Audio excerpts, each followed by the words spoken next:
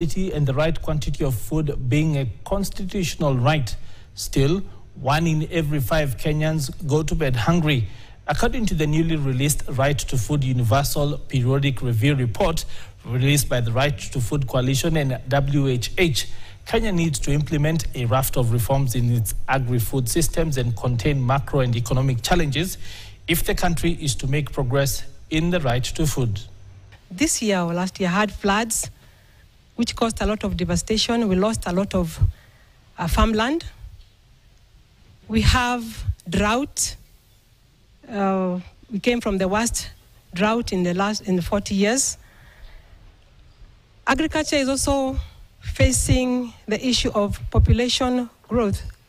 Uh, one key recommendation we have is for the government to reconsider the austerity measures that are in place. Uh, we know we have a debt problem, a debt challenge in the country, but the austerity measures have reduced the purchasing power of households. The other uh, key recommendation we have is to establish a legal framework uh, to uh, re- help realize the right to food. This legal framework uh, ha- will have accountability measures Kenya committed to two basic uh, requirements. One is to uh, enhance the food security in the country, and the other one is to fight malnutrition throughout the different regions, and especially the malnutrition of children.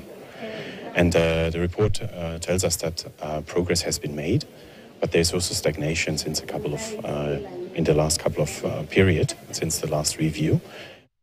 And the Board of Trustees of the Safaricom Staff Pension Scheme has elected